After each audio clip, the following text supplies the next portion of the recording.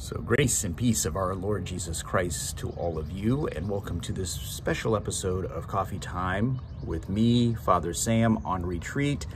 And I want to invite everyone to the Mass on March 25th, 2022, just in two days from now, uh, when we um, celebrate the feast of uh, the Annunciation of our Lord Jesus Christ. Right? The 25th of March is exactly nine months uh, to or away from, I guess it would be nine months away from um, Christmas, December 25th. So we're celebrating that Jesus became incarnate on uh, when Mary says yes to the angel. The angel Gabriel comes to her. She says, yes, be it done to me according to your word. And this is when he becomes human, right? At the moment of his conception, just like each of us, by the way.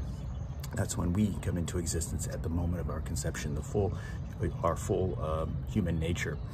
But on this day, on this March 25th, 2022, uh, we will have a special act of consecration of the whole church together. So Holy Father has announced there will be an act of consecration uh, for all of humanity, especially Ukraine and Russia, to the heart or Immaculate Heart of Mary.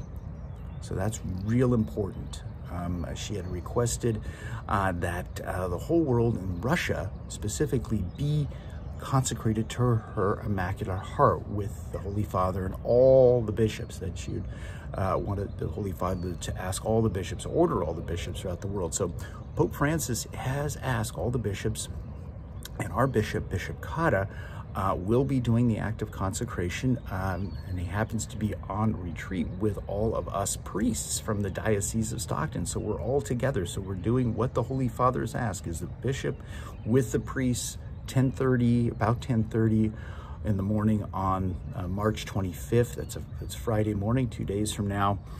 And uh, entrusting again um, our world to Mary, um, asking for peace, that there will be peace in the in Ukraine and uh, be an end of this horrible war, uh, and there'll be no more uh, suffering, no more death, uh, and that we can have peace throughout the world right? That we really need uh, peace, but we're going to uh, trust Mary's um, intercession.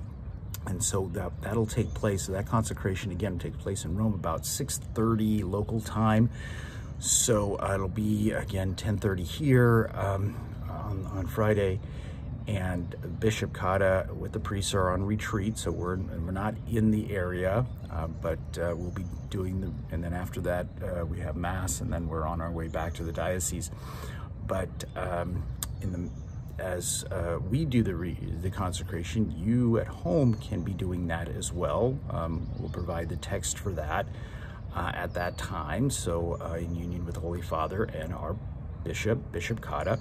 And then, um, but after the 8 a.m. Mass, so we'll have a special international rosary done in um, a number of languages, five different languages.